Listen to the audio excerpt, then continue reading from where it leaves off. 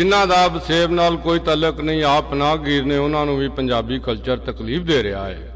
ਤੇ ਜਿਹੜੇ ਬਸੇਬ ਦੇ ਮਾਲਕ ਤੇ ਅਸਲ ਜ਼ਮੀਨ ਜ਼ਾਤ ਨੇ, ਉਹ ਜਾਂ ਸੱਤੂ ਲੱਸੀ ਪੀ ਕੇ ਸੁੱਤੇ ਪਏ ਨੇ, ਜਾਂ ਫਿਰ ਆਪਣੇ ਫਿਰਕੇ ਸਿਆਸੀ ਪਾਰਟੀ ਲਿਆ ਜਾਂ ਪਿੱਛੇ ਆਪਣੀ ਅਸਲ ਸ਼ਨਾਖਤ ਭੁਲਾਈ ਖੜੇ ਨੇ। ਤੇ ਜਾਂ ਫਿਰ ਬਰਾਦਰੀ ਨੂੰ ਹੀ ਸ਼ਨਾਖਤ ਤੇ ਕੌਮ ਸਮਝਦੇ ਨੇ।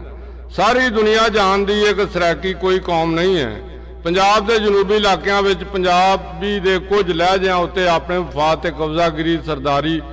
ਮਖਦੂਮੀ ਬਚਾਉਣ ਲਈ ਗੈਰ ਜ਼ਮੀਨ ਜ਼ਾਦਾਂ ਦੀ ਸਰਕਾਰੀ ਸਰਪ੍ਰਸਤੀ ਤੇ ਸਟੈਬਲਿਸ਼ਮੈਂਟ ਦੀ ਹਲਾਸ਼ੇਰੀ ਨਾਲ ਜਾਲੀ ਠੱਪਾ ਲਾਉਣ ਦੀ ਇੱਕ ਸੋਚੀ ਸਮਝੀ ਸਾਜ਼ਿਸ਼ ਹੈ। ਪਰ ਵੇਖੋ ਇਹ ਸਾਜ਼ਿਸ਼ੀ ਕਿਦਾਂ ਝੂਠ ਬੋਲੋ, ਰੱਜ ਕੇ ਫਿਰ ਸੌਂ ਜਾਓ, ਮੂੰਹ ਕੱਜ ਕੇ ਵਾਲੀ ਮਿਸਾਲ ਬਣੇ ਹੋਏ ਨੇ।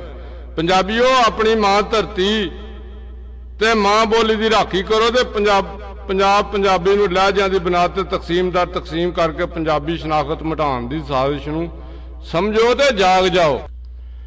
ਨਾ ਆਇਲ ਹੁਕਮਰਾਨ ਪਾਕਿਸਤਾਨ ਦੀ ਸਲਾਮਤੀ ਨਾਲ ਖੇਡ ਰਹੇ ਨੇ। ਲੱਗਦਾ 1947 ਵਾਲੀ ਖੂਨੀ ਸਾਜ਼ਿਸ਼ ਇੱਕ ਵਾਰੀ ਫਿਰ ਪੰਜਾਬ ਪੰਜਾਬੀ ਲਈ ਤਿਆਰ ਕੀਤੀ ਜਾ ਰਹੀ ਹੈ।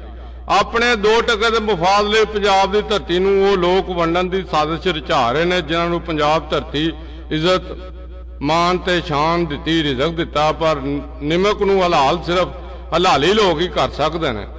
ਪਾਕਿਸਤਾਨੀ ਪੰਜਾਬ ਦੀ ਪੂਰੀ ਤਾਰੀਖ ਵਿੱਚ ਪੰਜਾਬੀ ਵਿੱਚ ਕੌਮੀ ਸਲਾਮ ਸਿਆਸੀ ਸ਼ਊਰ ਆ ਰਿਹਾ ਹੈ ਜਿਹੜਾ ਪੰਜਾਬ ਦੀ ਵੰਡ ਦੀ ਸਾਜ਼ਿਸ਼ ਨੂੰ ਮਿੱਟੀ ਵਿੱਚ ਮਿਲਾ ਦੇਵੇਗਾ ਇਨਸ਼ਾਅੱਲਾ और सब भूल के हरफे सदाकत लिखना रह गया काम हमारा ही बगावत लिखना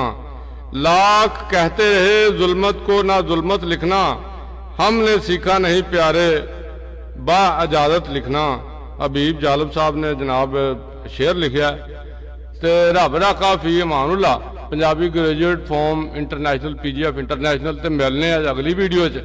ਤੇ ਚੈਨਲ ਨੂੰ ਸਬਸਕ੍ਰਾਈਬ ਕਰਨਾ ਨਾ ਭੁੱਲਿਆ ਜੇ